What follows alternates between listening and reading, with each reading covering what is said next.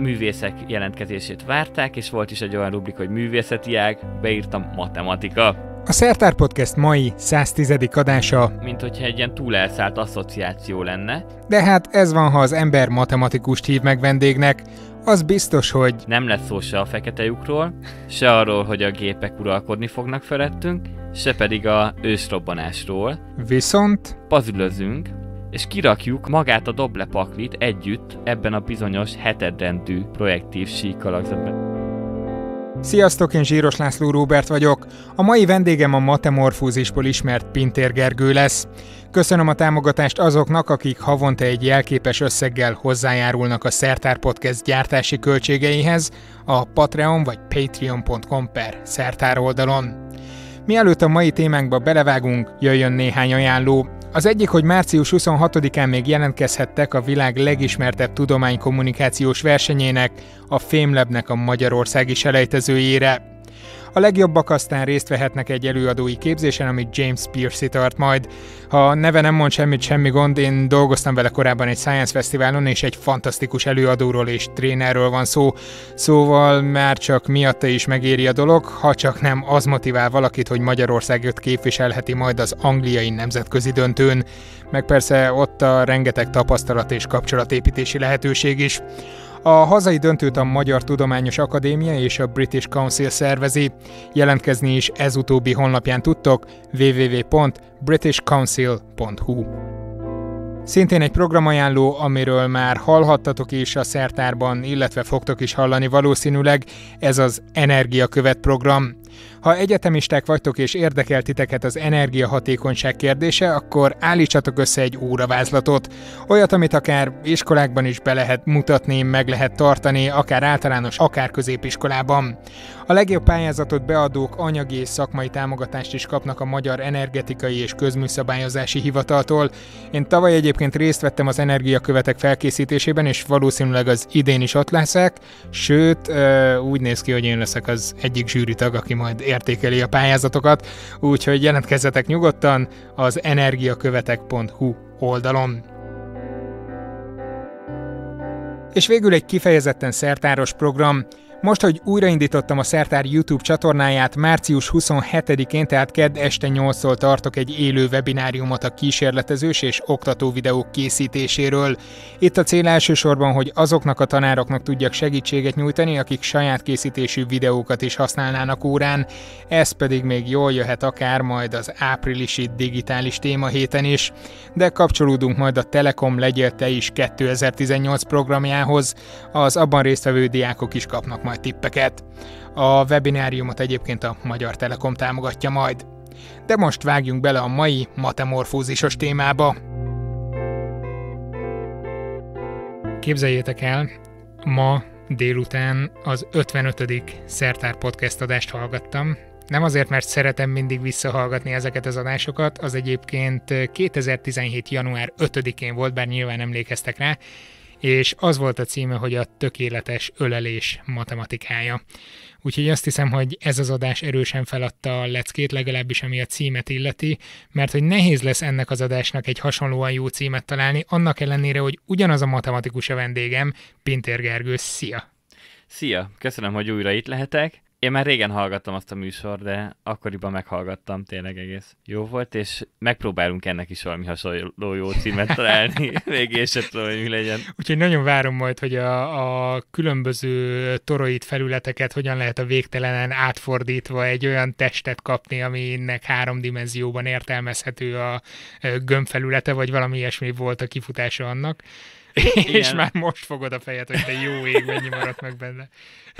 Nem, ez teljesen jó, ahogy elmondtad én is, hogyha így mit tudom én, villamoson utazok, ott találkozok valami ismerőssel, és két megálló között kell elmagyaráznom, hogy mivel foglalkozok, akkor valami egész hasonló jön ki belőlem, és azt a rádiónézők nem látják, amit mutogattál, de igazából azt is egészen hasonlóképpen szoktam Figyelj, mert ez a rádiónézők kifejezés is teljesen jó volt, amit itt megalkottál. Valahol a fú, nem akarlak megbántani, de az abszurditását jelzi ennek a tudományágnak. Lehet abszurdnak nevezni?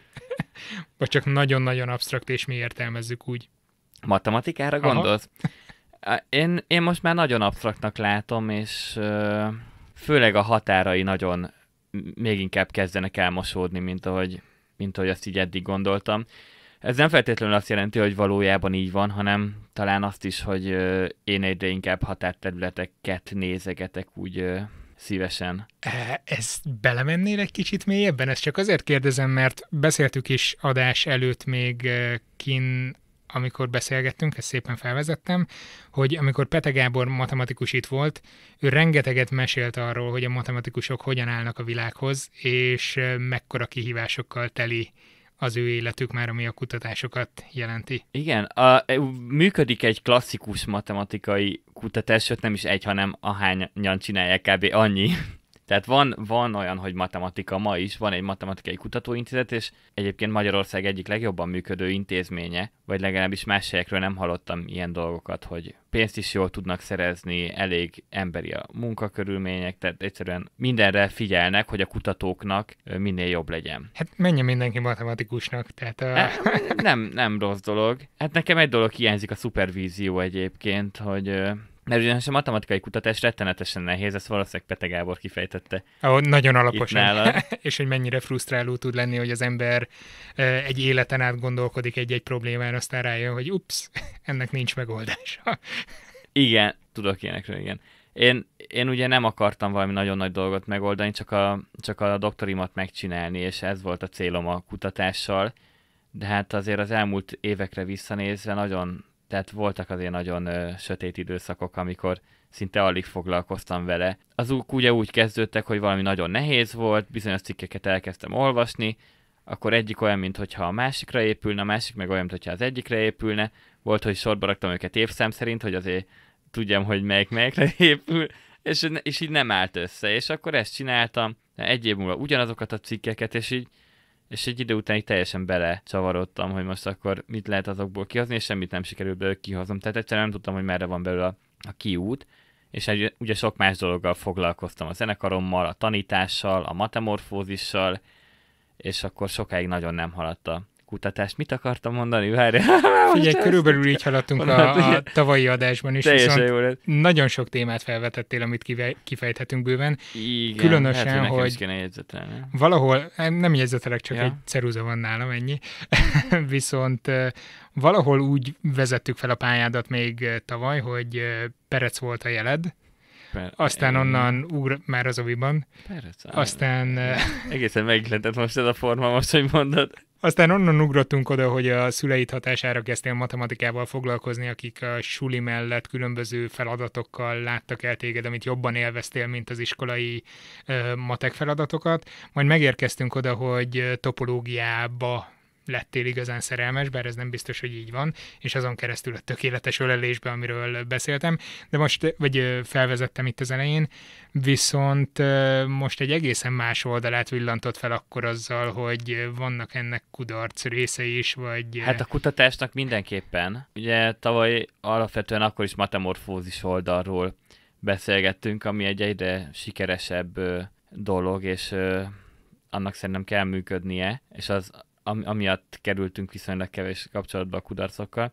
Hát, és, és egyébként most meg azért könnyű, könnyebb ezekről beszélni, mert hát egy-két nap és teljesen befejezem a diszertációt. Most nem tudom, hogy csütörtök délelőtt Ja, és a diszertáció leadás van, nem pedig uh, védés, vagy? Még nem védés. Hát ja. leadás, de hát utána már nem rajtam múlnak a dolgok. Tehát rettenetesen örülök neki, hogy ezen így uh, viszonylag túl vagyok, még nem teljesen túl, de azért viszonylag. És uh, igen, a szupervíziót akartam mondani, hogy ja, hát uh, hogy utólag visszanézve annyi ember annyi megnyugtató dolgot mondhatott volna. Ahogy visszagondolok 2015-re, amikor teljesen el voltam uh, szomorodva ezen, hogy nem megy semmilyen irányba a kutatás. Utólag rájöttem, hogy mit tudom, csoportunkból egyik uh, legszerencsésebb voltam végül is, már megjelent az első cikkem, és uh, nagyon jó helyen jelent meg, csak uh, nem tehát, hogy egyszerűen nem volt semmi kapaszkodó, hogy most akkor jó irányba halad-e vagy nem. Valószínűleg azért is nem volt semmi kapaszkodó, mert szerintem a matematikusok próbálnak viszonylag objektívek lenni, és objektívan nem lehet megmondani, hogy jó irányba halad-e vagy nem, mert még nincs meg valami, addig nem lehet róla tudni. Hát néha el kell engedni ezt a nagyon merev gondolkodás. Igen, de hát azért nehéz az embernek így visszajelzések nélkül működnie. Jó, de nem frusztrálok tovább ezzel, hogy a frusztrációidról beszélj, úgyhogy nézzünk olyan dolgot inkább, ami, ami abszolút sikeres és abszolút töretlen és, és jellemzi minden erőfeszítésed megtérülését a matemorfózis. Jó volt a felvezetés? Nagyon jó, de ennyire az se olyan azért. Matemorfózissal van pár tervem, de abból bár, is... Várjál, bár feltételezem, hogy minden hallgató hallotta az egy évvel ezelőtti adást, és álmából felkeltve is fel tudná idézni, mint hogy én is most a villamosan idefelé, viszont megvilágíthat, hogy mi a matemorfózis?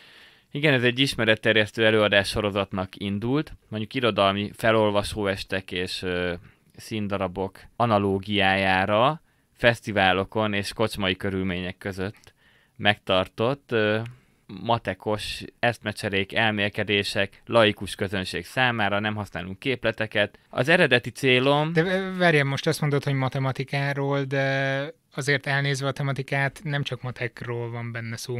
Való igaz, én ezt matematikából kezdtem, de mivel... De hogy ez a kiindulás volt, és azóta Igen. bővült. Mivel én voltam az egyetlen ö, szervezője, képviselője, vezetője, titkára ennek az egésznek, ezért ez rajtam múlt igazából, hogy mi a matemorfózis és mi nem. Figyelj, ti matematikusok nagyon szeretitek ezeket a definíciókat, hogy definiáljuk a térfogalmát, és akkor onnantól azt nem, vele, amit akarsz. Akartad.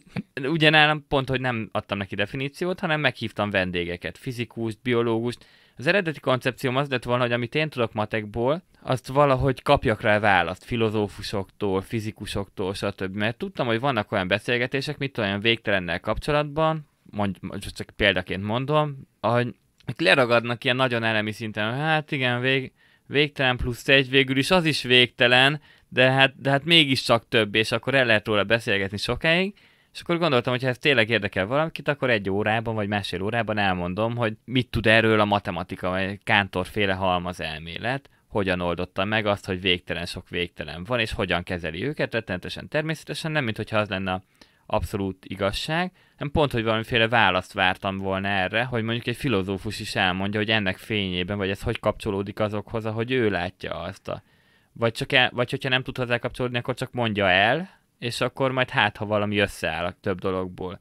De várj, azt mondtad, hogy volna, tehát akkor ah. ezek szerint nem tolongtak a filozófusok, hogy kifejtsék a végtelen plusz egynek a Annyira nem tolongtak. Közvetített meglátását? Annyira nem tolongtak, de hát ez még, itt még egy egész élet, egy fél élet legalábbis még előttem áll, hogy ezt Kedves hallgatóink, megvalósítsuk ha van ott bárhol a készülékek előtt egy filozófus, akkor nyugodtan jelentkezzen és keresse Gergőt, mert úgy látom, hogy epekedik ez iránt.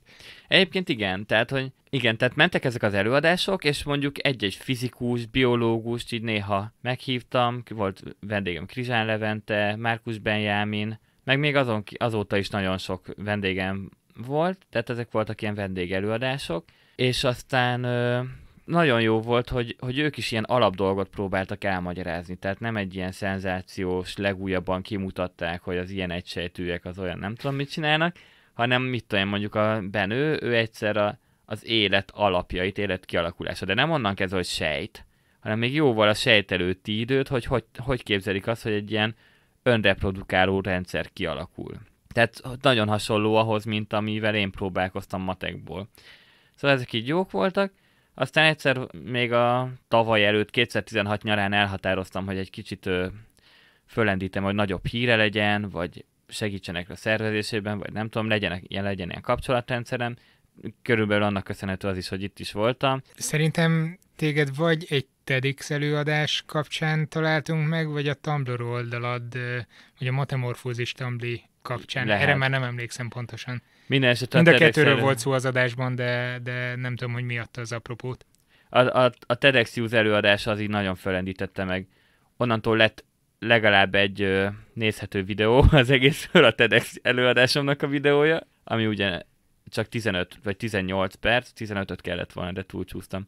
És ö, van róla egy nézhető videó, ami egy tök jó ilyen kis demo anyag, azóta már készültek más ilyen videók. Bűvészkedtél rajta a terekkel.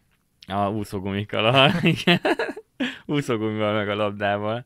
És ö, utána, in, utána a tavalyi év az nagyrészt ilyen, ö, ilyen tematikus sorozatokkal ö, folytatódott. Az első ilyen tematikus sorozat ilyen január-február környékén, talán akkoriban jártam itt, akkor két hetente én tartottam kedvenc témáimról, ilyen négy és több dimenziós terek, meg nem tudom, és a közteni... Mert, eh, bocs, hogy belét folytam a szót. Oké, okay, négy és több dimenziós terek a kedvenc témáid mennyire tolonganak erre az emberek, vagy, vagy amikor találkozol emberekkel, inkább így teszem fel a kérdést, akiket látszólag ez érdekel, mint ahogy én is valószínűleg felcsillanna a szemem, hogy ó, itt négy és több dimenziós terekről lesz szó, mennyit fognak fel belőle? Szerintem az egy viszonylag egy könnyű előadásom.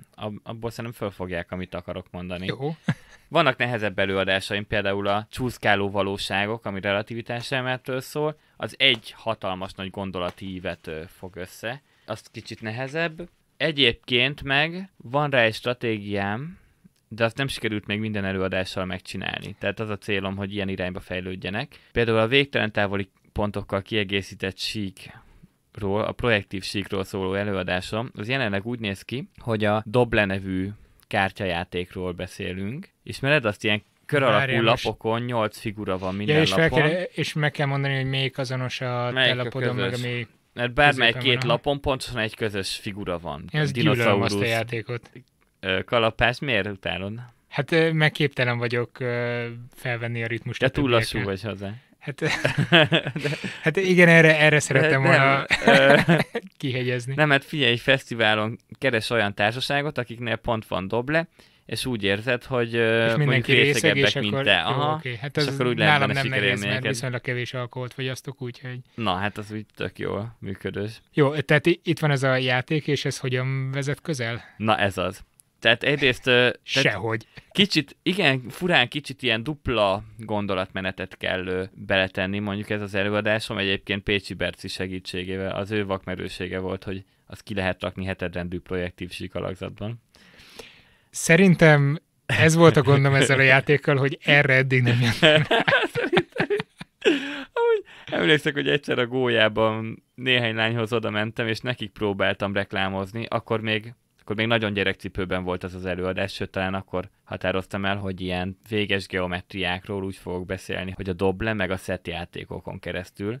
Akkor még azt hittem, hogy mindkettő belefér egy előadásba de részeg voltam előző nap, vagy két nappal előtte, és ilyen lányokhoz, akik szettel játszottak, oda mentem és reklámoztam nekik ezt az előadásomat, hogy akkor lesz az előadásom. Aztán beszálltam hozzájuk játszani, de totál nem tudtam semmit, tehát hogy így semmi, se reflexem nem működött, se semmi, és szerintem nem hitték el nekem, hogy én most erről fogok beszélni két nap múlva arról, De hogy... megjelentek aztán? Nem, szerintem nem. Val- valamit ott elrontottál De szerintem. Visszatérve a doblésra, az viszont egy szerintem jól fölépített előadás lett, mert van egy alapkérdés, hogy van egy ilyen pakli, minden kártyalapon 8 figura, és bármelyik két lapon pontosan egy közös figura van. Uh-huh. Hogyan lehet egy ilyet megtervezni? Hogyan állná neki? Hány figurával, hány lappal, egy lapon hány figurával lehet ezt megcsinálni? Ugye most nem várod, hogy erre válaszoljak. Nem, Jó, nem. Ha. ezek most költői kérdések. Mert az van, hogyha az ember elkezdi vacakolni vele, vagy bármilyen iskolából tanult stratégiákat, az embereknek általában beszokott ugrani az N alatt a kettő képlet, a gráfok, hogy biztosan gráfokkal, vagy csak így próbálgatva, és egyik se vezet eredményre, az az igazság. Tehát semmilyen ilyen tanult módszer nem vezet eredményre, és egy nagyon távoli analógia vezet eredményre, tehát kvázi egy, mint hogyha egy ilyen túl elszállt asszociáció lenne, hogy ugyanúgy, ahogy bármely két lapon pontosan egy közös figura van, ugyanúgy a síkon bármely két egyenes egy pontban metszi egymást. Igen. Na most ebből hogy lesz kártyapakli, ugye? Nagyon várom. ne, ne várd most, ez de nem lesz lehetőségem kifejteni. De az a lényeg, hogy valamilyen síknak az egyeneseivel és a pontjaival kell tehát mondjuk a pontok lesznek a kártyalapok, és, a, és az egyenesek a figurák, vagy akár fordítva is meg lehet csinálni, és kiderül, hogy van néhány probléma, például vannak párhuzamos egyenesek, amik nem metszik egymást, és akkor a projektív síkot kell venni, ki kell bővíteni a síkot végtelen távoli egyenesekkel. Egy még alapabb probléma, hogy a síkon végtelen po- sok pont van, meg végtelen sok egyenes, de a kártyapakliban meg... Viszonylag korlátozott a lapoknak a száma. Pontosan jól látod a helyzetet, emiatt át kell térni véges geometriákra, és akkor az idők során már lényegében minden egyéb sallangot sikerült kiszednem ebből az előadásból, de így is valószínű, hogy mire végigmegyek a végtelen távoli sík, pontokkal kibővített síkon, bár azt most már úgy szoktam, hogy el szoktam mutatni, egyszerűen eltáncolom, lerajzolni tök fölösleges. Tehát eltáncolom, mint hogyha ott állnék egy hortobágy közepén, és akkor látom a horizont vonalat, és mutatom, hogy ez mind itt az én földem. És uh, utána áttérünk véges geometriákra, gondolom nagyon sokan elveszítik a fonalat, de azon a ponton... Én, én még bírom követni, persze. Ezen a ponton nem is szoktam rá odafigyelni már, hogy, uh, hogy mindenki meglegyen, mert ugyanis utána pazülözünk, és kirakjuk a magát a doblepaklit együtt ebben a bizonyos hetedrendű projektív sík alakzatban. Ez egy végtelen távoli pontokkal kibővített véges sík. És a puzzle alatt... Ezt azért tanácsolom mindenkinek, hogy pörgessen vissza egy kicsit, és esetleg lassítva játsza le még egyszer ezeket a kifejezéseket. végtelen távol. a, a puzzlezés alatt akár még olyanok is megérthetik, akik az addigi részen ott se voltak. De akik meg csak úgy elvesztették a fonalat, azok meg reményeim szerint úgy valami, valami visszaáll, valamilyen képet kap. Tehát, hogyha azt nem is értette úgy pontosan, akkor is. És amúgy én azon szoktam olyankor szórakozni, hogy ha úgy jó társaságban csinálom, és úgy jó belemerülnek az emberek, akkor már mindenki mondogatja, hogy kinél van a dinoszauruszos egyenesnek a végtelen távoli pontja. Mindenki elkezd ilyen nyelven beszélni. És ez mennyire ragad meg? Tehát ha onnan hazamegy valaki, van valami visszajelzésed, hogy ezzel utána jó elmenőzni, hogy én tudok ilyen kifejezéseket? Nincs. Sajnos. Ö, azt tudom, hogy haszna biztos, hogy van, mert sokszor találkoztam olyanokkal, akik, hogy úgy jöttek emberek erre az előadásomra, hogy, hogy volt ilyen pakliuk, szerettek vele játszani, és sokat gondolkoztak rajta, hogy hogy lehetne egy ilyet megcsinálni. Hogyha már megfogant, megfogant az emberben ez a kérdés, utána persze hatalmas nagy csoda neki, hogyha megkapja rá, rá választ, tehát akkor számára az nagyon érdekes lett. De azt tudod egyébként, hogy aki eredetileg létrehozta ezt a játékot, hogyan állt neki? Tehát az gyanított, hogy esetleg egy matematikus volt, vagy... Biztos, hogy ismernie kellett a projektív síknak a koncepcióját. Nem hiszem, hogy ezt másképp meg lehet csinálni. De lehetséges, hogyha valaki tudja, akkor írjatok matemorfózis kukacgamer.com-ra. Fú, ez, ez lehet egy igazán izgalmas kérdés, hogyha látsz egy játékot, vajon le tudod-e követni gondolatban, vagy le tudod-e modellezni azt, hogy az, aki létrehozta, vajon hogyan gondolkodott és hogyan rakta össze? Hát ebben szinte biztos vagyok, hogy ezt nem nagyon lehetett másképpen. Tehát ebben is látszik, hogy rengeteg pénz van a matematikában, ki kell találni egy jó játékot, azt nem piacra dobni, ennyi. Szóval e- ez, a, ez az előadásom azért, azért szeretem, mert hogyha mert van a végén valami, ami helyre rakja, vagy legalábbis úgy ö, lezárja a gondolati kört. Nem marad senkinek se szabadon. A relativitás elméletes is viszonylag ilyen, mert ott meg van két motiváló paradoxon, az Iker paradoxon, meg az, hogy a vonat bemegy az alagútba, azt nem lehet tudni, hogy hosszabb be, mint az alagút, vagy rövidebb. Uh-huh. És akkor a végén az, ezeket beszéljük meg. És akkor ott az ilyen Einsteini gondolatkísérleteken mentek végig közösen a közönséggel? Igen, nem tudom, hogy pont Einsteinnek a gondolatkísérletei, de igen. Az Iker, az azt hiszem igen. A, az lehetséges. a vonat, mint az alagút. Valószínűleg más biztos. megfogalmazásban tálalom az egészet, mint, a, mint az Einstein, mert ez kicsit ilyen matematikus hozzáállás, ahogy én ö, beszélni szoktam róla. Ez nem azt jelenti, hogy több képlet van benne, mint egy fizikus. Igen, ezt akartam kérdezni, hogy mi a különbség a matematikusi hozzáállás Szerintem az, és hogy... a fizikusi között, amikor egy gondolatkísérletről beszélünk. Az, ahogy utána elmondom, mondjuk a, ahogy a téridőnek a működését egy fizikus úgy mondaná el, hogy hogy van a tér, és akkor van abban a sebesség, és akkor, hogyha másik inercia rendszerből nézzük, akkor hogyan transformálódik a sebesség, hogyan kell átváltani két rendszer között.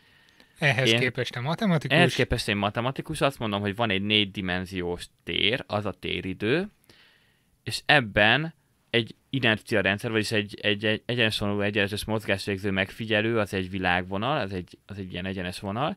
És a számára... tolmácsolom, hogy itt mutogatod ezeket, tehát nem ja. tudom, hogy majd a negyedik dimenzióban hol fogsz átnyúlni, de, de nagyon várom. Már átnyúltam. És akkor most visszamegyünk a harmadikba, és akkor, és akkor én azt próbálom meg elmondani, hogy számára az egyidejű pontok, tehát ahogy ő, ugye az egy, végül is a tér, mi az, hogy tér, az a, az a számunkra egyidejű pontok egy adott pillanatban. Igen. És hogy ez, hogy hogy áll a négydimenziós téridőben ez a tér, az egyidejű pontokból álló tér, ez változik megfigyelőről megfigyelőre. Olyan, mintha egy billegne a tér a téridőben. Uh-huh. Tehát ahelyett, hogy azt mondom, hogy van a tér, abban van a mozgás, és különböző izék különböző módon váltják át, azt mondom, hogy van egy nagy valami, és nem vált át senki semmit, eme, emiatt nem lesznek képleteim. Mert nem mondom el, Mhm. hogy ki hogy vált át, hanem azt mondom el, hogy nem is ar, ugyanarról a térről beszélnek, hanem ilyen más, más állású terekről. Megvan ez fogalmazva egyébként egyik ö, halálorgazmus ö, nótában. Ér- éreztem, hogy megérkezünk majd a halálorgazmushoz. Hát figyelj, nagyon egyszerűen vannak benne olyan dolgok. Ez Gergőnek a zenekara egyébként. A múltkori adásban beszéltünk róla, de egy picit uh, mielőtt rátérsz erre az idézetre, uh, megvilágítod, hogy hogyan képzeljük el? Hát ez egy sima zenekar. Diszkópunk nótákat játszunk. És a elég, Vanguard diszkópunk. elég erős, mély filozófiai és matematikai áthatással rendelkezik Lendületes, energikus számnak a szövege. táncmulatságokat tartunk. Április 30-án lesz a legközelebbi az Aurórában, és ebbe a dalva az van, hogy a ti valóságotokhoz semmit sem konyítunk. Más szögben áll az érzékelési síkunk. Igen, hát le se tagadhatnád, hogy matematikus vagy alapból. Nem.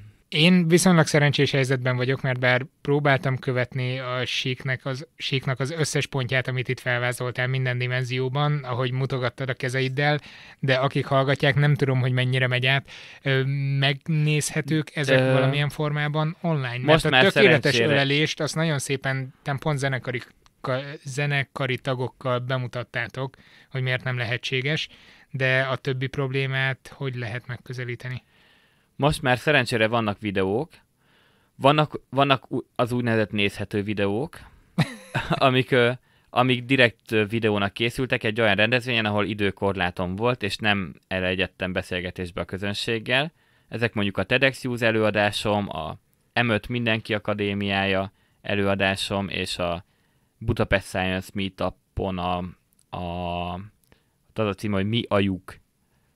Hiány Erre vagy emlékszem. tulajdonság Erre emlékszem, ez Ezek megnézhetők néhány hónappal ezelőtt jó volt. videón, és amik meg rendes metamorfózis szeánszokról készült videók, azok meg eléggé dokumentumértékűek, hiszen viszonylag hosszúak azért, mert, mert non-stop közbekérdezések vannak, beszélgetések, ami a metamorfózisnak a lényegéhez tartozik.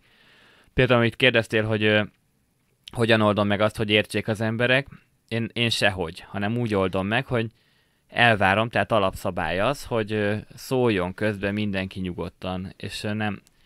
És egyébként pedig jogom van moderálni, tehát azt mondani, hogy bocs, ez mégse, ez most nem, ez most rossz irányba vinne, de azt próbálom, azt próbálom megcsinálni, hogy egy ilyen, vagy, vagy így kiprovokálni, hogy egy ilyen egymásnak feszülő kommunikációs helyzet alakuljon ki, hogy mindenki merjen beszélni, annyi csak, hogy nekem egy ilyen moderálási jogom is van. És er, erre próbálom alapozni azt, hogy átmenjen az üzenet egyszerűen a két irányú kommunikációra. Emiatt ezek a videók, az ezekről készült videók, azok nem annyira nézőbarát videók. Például a relativitás elméletes, az, arra úgy tudtok rákeresni, hogy csúszkáló valóságok. Ezt a címet adtam neki az Ubik Eclectic Szerintem ez lesz az adásnak is a címe, mert ez már Csúszkáló valóságok? Na tényleg. Jó. De az tud, tudjuk, tudnunk kell, hogy az Ubik Eclectic Fesztiváltól nyúltam le ezt a... jó, majd csavarok rajta valamit. Még ezen? ezen már És van egy olyan honlap, honlap most már, hogy matamorfózis.hu, és akkor ott fönt van az összes ilyen videó, YouTube linkekkel, meg minden. Aha, akkor már nem csak a Tumblr oldal van, vagy főleg nem az van. Nem, idén nyár végén ö, jelentős fejlődésen esett át a infrastruktúránk. Ha gratulálok hozzá. Köszönöm szépen. Igazából volt egy nagyon nagy segítségem, a Hambrák Dóri, ő segített az előadások szervezésében és felvételében, és ö, rendbe tette a honlapot. H- hányan dolgoztok ö, ezen a projekten? Most végül is ketten. Aha, Most újra ő segít a most induló sorozatnak az elkészítésében. Mondasz még néhány szót erről a sorozatról? Igen, csak várj, Tehát, hogy valamit milyen- akartunk még mondani. Az nem kizárt. Az, igen, de va- valami volt valami. Tavalytól, kicsit össze akartam foglalni, hogy milyen eseményeink történtek. Ja, igaz, igaz. Lehet Ott nem azt most- vartuk el. Persze. Tehát, hogy indultak ilyen projekt, ilyen, ö, ilyen nagy egybe előadássorozatok, volt ez a, az a új világok teremtése, ami, két, ami azért, hogy ne legyen számomra olyan megterhelő, két heti váltásban volt, a Metamorfózis X-el, amire meg TEDx Use előadókat hívtam. Még oda visszacsatolva, hogy mások is tartottak Ja, előadásokat. arra utal az X. Igen, és egy nagyon régi nem az kérd- ismeretlenre. Hát, na most számukra ismeretlen volt, ahogy meghívtam őket, kiderült, hogy nagyon van kedvük, ehhez ment az előadó társaimat, akikkel, elő, akikkel TEDx Houston előadásokat tartottunk. De elsőre nagyon sokan jelentkeztek, hogy szívesen tartanák matemorfózis előadást, aztán pedig többen megkérdezték, hogy de Gergő, hogy fogok én matekról beszélni? nem, nem matekról kell beszélni, hanem a saját témádról. Egy példát mondanék, mondjuk a Cserháti Herold Janka, termékenységtudattal foglalkozik, meg hormonmentes fogamzásgátlás, uh-huh. meg mhm. hogy a nők hogyan tudják megismerni a saját ciklusuk működését. És mondjuk senki sem értette a tematikámat, de én ezt betettem a négy és több dimenziós teres előadás után egy héttel, ugyanis mindkettő valamilyen, mód, valamilyen szinten arról szól, hogy egy, egy láthatatlan világot hogyan tudsz láthatóvá tenni. Ugye a női ciklus is annyi, hogy havonta egyszer érzékelik ennek a, a működését, de Janka arról beszélt, hogy hogyan lehet mégis az egészet megismerned, és mindig tudnod, hogy éppen melyik stádiumban tart. És igazából én is ugyanezt csináltam a négy, és négy dimenziós terekkel. Van ez a háromdimenziós terünk, de ebben hogyan lehet ábrázolgatni, meg elképzelni ehhez képest azokat a dolgokat, amik ott történhetnek. Szóval ez volt egy előadás sorozat, aztán volt egy olyan, talán tavaly tavasz végén, amikor a Wigner intézetből két agykutató, a Gásper Merse előd és a Bányai Mihály. Nagy részt ők beszéltek, meg betettem egy elő, magamnak is egy előadásomat, mert eredetileg onnan indult, de igazából ez lényegében az ő előadás sorozatuk lett. Csak egy pici kitérő, hogy Mersének a feladványait érdemes követni. Most azt hiszem a Kubiton, eh, Kubiton, Kubiten van sorozata, de korábban a saját blogján, a Dupla Plus Jón mentek a dolgok. Nagyon érdekes dolgai vannak a Mersének. Többször igen. osztottam őket, eszméletlen jó feladványokat tud összerakni. Igen, nagyon ügyes. Nem, nem kell hozzá túl sok matek, vagy nem mindegyikhez, inkább ilyen logikai játékok, kicsit másképp kell gondolkodni hozzájuk, de napokra képes lefoglalni az embert, vagy engem legalábbis volt, ami napokra lefoglalt és mindketten mesterséges intelligenciával, meg azon belül a, a látás modellezésével foglalkoznak, és nagyon sok mindent ott az ő előadásaikon értettem meg a, a gépi tanulás, vagy hogy hívják ezt az a neurális hálózatoknak egyáltalán a filozófiáját, hogy mi a, hogyan működik, és visszacsatolva még egy még régebbi kérdésedhez, hogy határterületei a matematikának, na ez például az. Tehát mondjuk a matematikai kutatóintézetben nem igazán vannak olyanok, tudomásom szerint elnézést, hogyha mégis vannak, akik ilyen dolgokkal foglalkoznak. Sőt, én, a, én a, az ő előadásaikból azt szűrtem le, mint hogyha, az, mint hogyha ez a mesterséges intelligenciának ez a mai fejlődése, mint hogyha kicsit ellenté, tehát így, így megismerésileg kicsit ellentétes filozófiát vallana a matematikával. Hogyha egy matematikusnak el, hogy matematikailag el akarod mondani mondjuk, hogy kör, akkor definiálod, hogy adott ponttól egyelő távolságban lévő pontok halmaza. De hogyha egy gyereknek el akarod magyarázni, hogy kör, akkor megmutatod neki az autókerekét, kör, megmutatsz neki egy másik dolgot, kör. Aztán megkérdezi, idejön, és megnézi ezt az asztalt, amit szintén nem látnak a nézők, ez egy nyolcszög alakú asztal, erre is megkérdezi, hogy kör, és nem, nem kisfiam, ez nyolcszög. És akkor onnantól kezdve legközelebb, amire rákérdez, egyre jobb hatékonysággal el fogja találni, hogy kör vagy nem kör. És ugyanezt és csinálják ezek a ugyanezt csinálják ezek a tanuló is. algoritmusok is. Tehát ez, én azt, azt Erről vettem... volt egyébként szó néhány adással ezelőtt, hogy uh, hogyan tanulnak az ilyen algoritmusok. Na igen, ezekhez én egyáltalán nem értek, de nagyon érdekes előadás sorozat volt az övéké. Nagyon örültem magamnak, hogy, hogy most végre én tanulhatok, tehát valamilyen értelemben megtörtént az, amivel az elején kezdtem, hogy, hogy szerettem volna választ kapni, tehát hogy ne csak én osszam mindig az ész ezeken a matemorfózisokon, hanem én is szeretnék tanulni. Úgyhogy ezek nagyon izgalmas alkalmak voltak számomra. Aztán össze volt egy még egy nagyon érdekes dolog, az Off biennale ami egy művészeti biennale. Ugyanakkor jelentkeztem rá, amikor a TEDx ra is. Ugye művészek jelentkezését várták, és volt is egy olyan rubrika, hogy művészeti ág, beírtam matematika. Hát végül is a hét szabad művészetnek az egyike, tehát... Igen, és ők úgy is vették, hogy be is vettek ebbe a Biennálénba, amit szintén nagyon köszönök nekik, és egy előadásommal, ami a köztudott tudásos előadásom, ez egy darab fejtörőt vezet végig, és ilyen társadalmi vonatkozásaival, mindenféle ilyen tanulságaival együtt. Ez arról szól, hogy milyen extra információ tartalma van, hogyha kimondunk egy olyan dolgot, amit mindenki tudott addig is. Például, hogy süt a nap, vagy mondjuk egy, mondjuk mint amikor egy cég évértékelő ülésén az igazgató, ezt Mérő László szokta mondani, hogy ő ezt nem, nem értette régebben, hogy miért mondják el az igazgatók, miért, miért mondanak csupa olyan dolgot, amit mindenki tud, hát ez dögunalom. Azért, mert az a dolguk. És persze ezt gondolhatnánk, hogy, filozó, hogy így pszichológiailag segít, hogy átgondoljuk az egész évet, meg hogy ott tényleg ünnepség van, akkor most nem arra való, hogy új dolgokat mondjunk, de, ne, de én ezt nem, nem pszichológiailag, meg nem filozófiailag nézem, hanem konkrétan, hogy milyen extra információtartalma, tehát logikailag plusz tartalma, hogyha olyat, olyat mondunk, amit mindenki tudott addig is. És ez hova fut ki? Na, ez is egy olyan határterület, ami érdekelne a későbbiekben, tehát én még tudnám hova tehát én még nem vagyok fel elégedett, tudnám kifuttatni. Ja, ez tök jó, hogy így, így felteszek neked kérdéseket, és, és mindegyik ezer meg ezer új ajtót hát, nyit ki. De ezért jó. De persze egy, az, egy metamorfózis előadásnak azért alkalmas már jelenlegi formájában is, mert ahova jelenleg kifut, az is bőven másfél óra vagy két óra, tehát annál hosszabb meg nem nagyon lehet egy előadás. Ott arra fut ki, hogy megértjük ezt az egyetlen feladatot, és onnantól kezdve ezeket a dolgokat másképp na, azt remélem, hogy egy kicsit ilyen más rálátást ad ezekre. Így észreveszünk jobban, amikor, amikor vagy kimondunk egy olyan dolgot, amit mindenki tudott, és ennek jelentőségét érezzük, vagy nem hallgatjuk el csak azért, mert hogy azt gondoljuk, hogy úgyis mindenki tudja. Ugye ez hányszor van úgy, hogy ezt nem, hát ezt úgyis mindenki tudja, akkor erről most minek beszéljek. Másrészt meg talán észreveszünk azokat a helyzeteket, amikor valaki direkt eltitkolja előlünk, megakadályozza egy mindenki által tudott dolognak a köztudott tudássá válását. Ez elég gyakori politikában, olyan munkahelyeken, ahol, ahol az a cél, hogy meg szeretnék osztani az embereket, egyszerűen a megosztásnak egy fontos eszköze. Az, hogy olyan információkat egyébként, amiket mindenki tud, mégse tudnak működésbe lépni. Hát mondjuk egy példa, ugye amikor a Csini babában mondja a, be, beolvassák a lottószámokat, és köztük van az 56-os. Igen, igen. És a, ez a következő heti, a következő lottószám majd a Népszabadságban olvashatják. Pedig mindenki tudta, hogy 56-ban mi volt, és azáltal akadályozták meg, hogy hogy ez ilyen nagy, nagyobb névfölbozdulást keltsen, hogy egyszerűen nem, nem beszéltek róla mégsem nyilvánosan.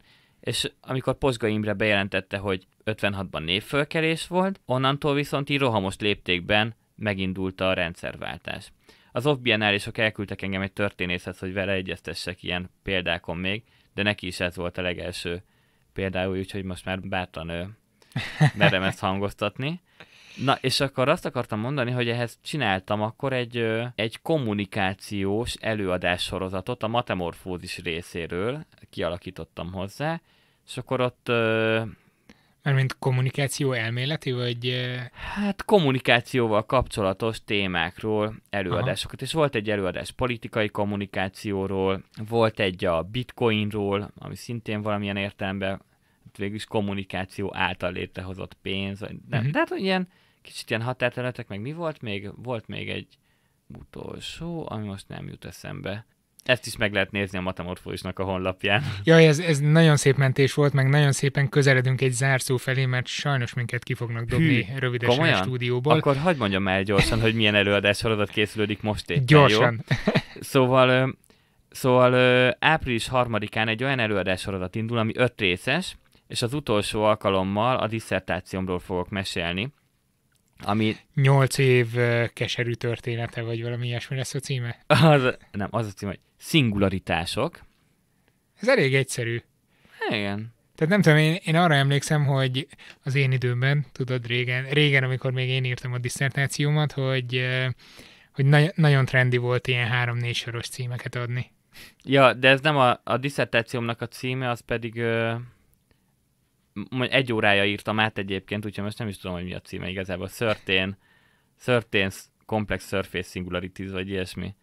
E, jó, oké, akkor ez is hosszabb valamivel. Ez is hosszabb valamivel, de a, csak az előadás sorozatnak adtam azt a címet, hogy szingularitások, és akkor csak az utolsó előadás fog arról szólni, hogy konkrétan a disszertációmról fogok beszélni, ami valószínűleg tényleg egy nehezebb alkalom lesz, és a többi viszont egymástól függetlenül látogatható, lesz szó a négy és több dimenziós terekről, most kifejezetten a tökéletes elérésre ah, kifuttatva. Végre.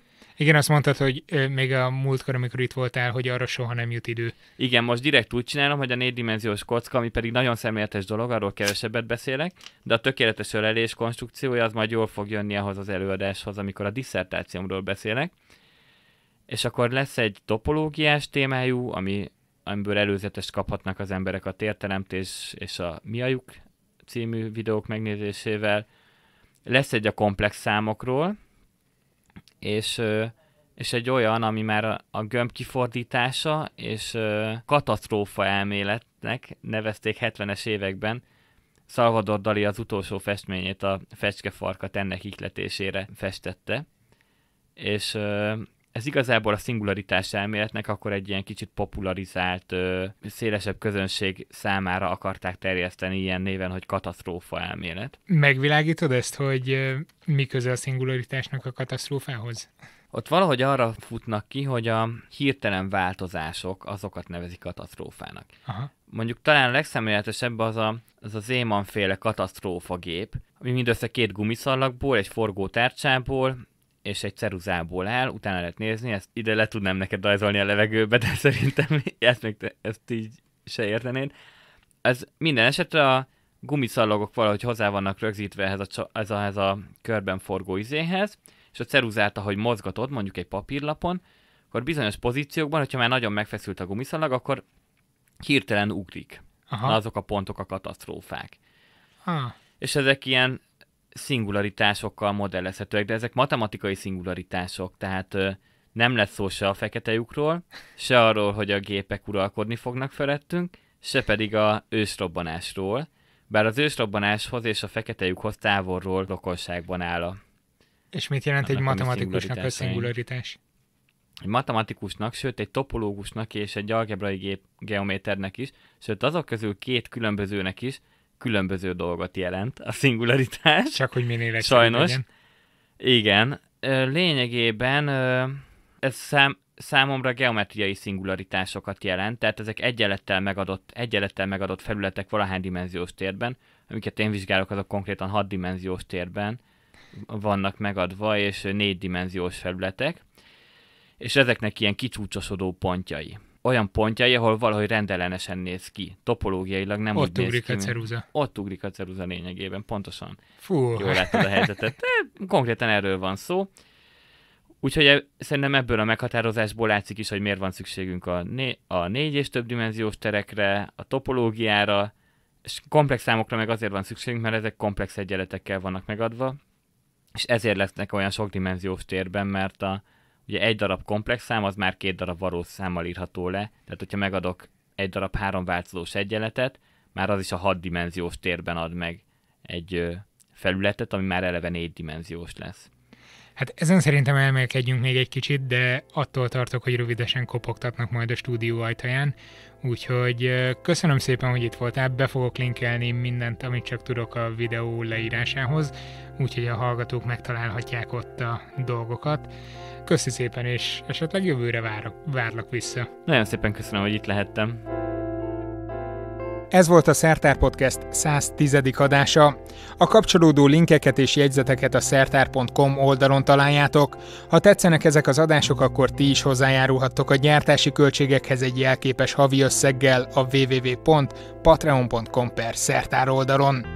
Ha témát és vendéget ajánlanátok, akkor a báziskukat szertár.com címre írhattok, iratkozzatok fel a podcast adásokra Soundcloudon vagy a kedvenc podcast alkalmazásotokon.